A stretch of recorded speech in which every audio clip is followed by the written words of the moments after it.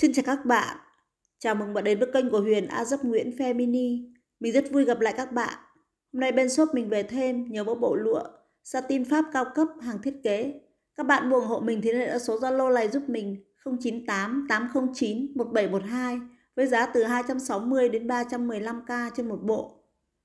Và hiện tại mình nhận làm dập đồ bộ mặc nhà, bộ thể thao nữ, bộ tập gym và tập yoga của nữ theo số đo và kiểu các bạn chọn.